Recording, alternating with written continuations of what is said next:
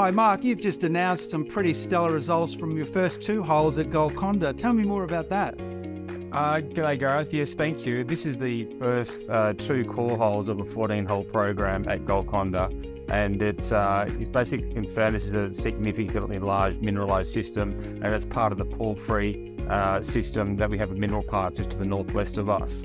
Uh, we're pretty excited. It's, you know, this is a culmination of two years of work, back to basics, first principles exploration, and uh, first two core holes here in, in the better part of four decades. So, you know, what we've learned from here is uh, yeah, there's mineralized, lots of precious metals and base metals. You know, I draw people's attention to the significant silver here already, especially in hole two, and uh, some big indium uh, credits as well. So that's been quite exciting. So we're taking these data points. It's going to help us vector in the next sort of 12 RC holes. And, uh, and we're halfway through that RC program uh, now. So we'd like to think we can probably see assays from the first hole back by the end of this month and uh, we're really excited. These two first holes, were they the, the juiciest targets that you had out of the 14, or were they left and right of the uh, mineralised area?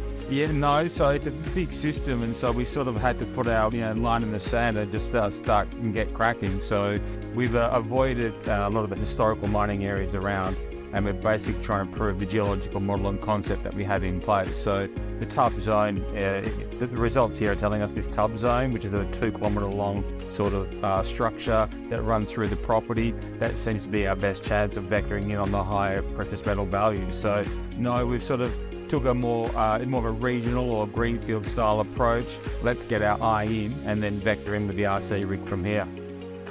And if all goes to plan and the next 12 holes, uh, marry up with the diamond holes, mm. um, what can investors look forward to? Uh, well, basically, lots more drilling. So, you know, we're in the moment of proving concept of the geological model. We'll evolve the model from there.